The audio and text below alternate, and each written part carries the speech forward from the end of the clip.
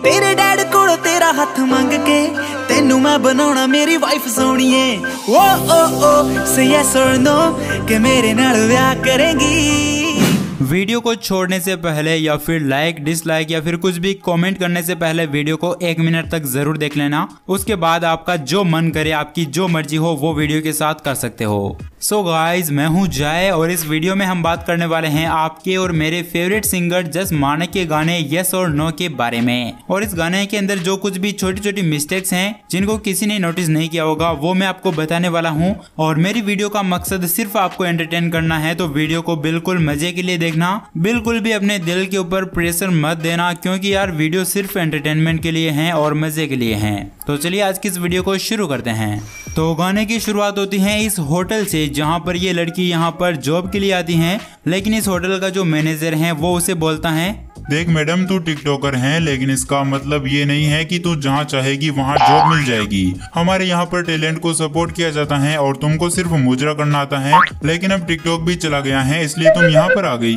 But sorry हम आपको ये जॉब नहीं दे सकते, आप कहीं और दूसरे प्लेटफॉर्म पे जाके मुजरा कीजिए। लेकिन जैसे ही इस मैनेजर और इस लड़की यानी कि लरिसा की बातें खत्म होने वाली होती हैं तभी आते हैं हमारे जस मानक पाजी। और वो सोचते हैं क्यों ना इस मौके का फ़ायदा उठाया जाए? मतलब जॉब तो मिली नहीं तो हम ही कुछ ट्राई कर लेते हैं क्या पता कहीं कोई लड़की सेट हो जाए? हम्म, गुस्सा नहीं करना मज़ाक कर रहा हूँ। एनीवेज आगे बढ़ते हैं और जब जस मानक यहाँ पर उनके ऑफ़िस से निकलते हैं तब उनके हाथ में कुछ डॉक्यूमेंट्स होते हैं और उनका सूट होता है। लेकिन जैसे ही कैमरे का एंगल चेंज किया जाता है तो उनके हाथ में से ये डॉक्यूमेंट्स और सब कुछ गायब हो जाता है। और इस लड़की के पास आने के बाद इसके डॉक्यूमेंट्स को भी वो फेंक देते हैं। और ये लड़की उन्हें कुछ भी नहीं कहती है। मतलब कैसे?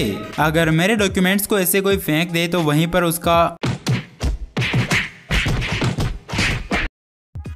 यार ऐसे कोई कैसे फेंक देगा? मतलब पूरे ज़िंदगी भर की कमाई होती है। मतलब भले ही बैक वेंचर थे हम बट फिर भी यार हाथों के ऊपर इतनी ज़्यादा लाठियाँ खाने के बाद ये डिग्री मिलती है और इसे हर कोई ऐसे ही फेंक देगा। मतलब मज़ाक है क्या? एंड इसके बाद आ जाते हैं अगले सीन के ऊपर। तो जब जस माणक इस लड़की का हाथ पकड़ के होटल से बाहर लाता है और ये दूसरा बंदा जब जस माणक को इस कार की की देता है, तब ये लड़की जो एक्सप्रेशंस देती है ना, इनको देखकर यहाँ पर जस माणक की जगह कोई हमारा इंडिया का प्रेंगस्टर होता तो कब का इस लड़की को गोल्ड डिगर बोल के यहाँ से रवाना हो जाता। बट यहाँ पर हमारे जस मानक पाजी ऐसे नहीं है मतलब उनका दिल बहुत बड़ा है। बिल्कुल इस गाड़ी के जितना बड़ा। मतलब गाड़ी के अंदर जो सीटें हैं, उनकी बात नहीं कर रहा हूँ बट गाड़ी की जो प्राइस है ना, उसकी बात कर रहा हूँ। एंड इसके बाद ये दोनों इस कार के अंदर बैठकर एक लॉन्ग ड्राइव पे जाते हैं। मतलब जाए जाते हैं, जाए जाते हैं।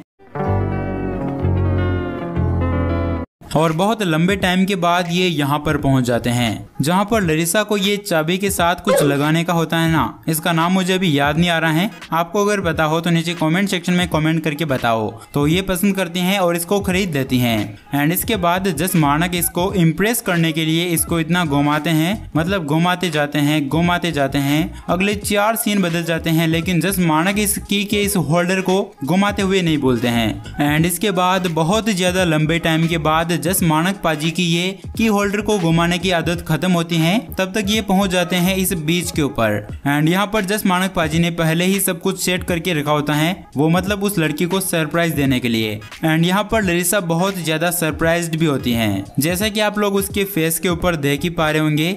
एंड देन जस मानक इसको पहुँचते हैं कि फिर क्या जवाब है तेरा? पूरे दिन तेरे साथ मैंने आज गुजारा है। मतलब सुबह तुझे होटल से लिया था, फिर लॉन्ग ड्राइव पे गए थे, फिर शॉपिंग की थी, और अभी शाम होते होते हम इस बीच पे आ चुके हैं। तो फिर बताओ यहाँ पर कि तुम्हारा क्या जवाब है? मतलब यस और नो एंड यहाँ पर लरिसा जस मानक को जवाब देती है एक यूनिक तरीके में। मतलब जब इन दोनों ने शॉपिंग की थी, तभी लड़की की तरफ़ से हाँ हो चुकी थी, और उसने भी सरप्राइज़ देने के लिए पहले ही इसकी होल्डर के अंदर यस लिख के छुपा दिया था। एंड इसके बाद दोनों में लड्डू फूट जाते हैं और अगले ही सीन के अंदर यहाँ पर दिन से रात हो जाती है। एंड इसी के साथ इस गाने की एंडिंग होती है। और दोस्तों, ये वीडियो सिर्फ़ एंटरटेनमेंट के लिए बनाई गई थी तो यार बिल्कुल भी गुस्सा करने वाली बात नहीं है। अगर आप इस मिस्टेक वाली वीडियो को देख के एक बार फिर से जस मानक पाजी की उस वीडियो को देखोगे तो इसे जस पाजी को ही फ़ायदा होगा। तो यहाँ पर बिल्कुल भी हेड पहुँचाने वाली कोई बात नहीं है। तो वीडियो को लाइक कर देना चैनल को सब्सक्राइब कर देना और पास में आ रहे बेल आइकन को भी ज़रूर दबा देना। तो अब मैं आपसे मिलता हूँ अगली वीडियो में, तब तक के लिए बाय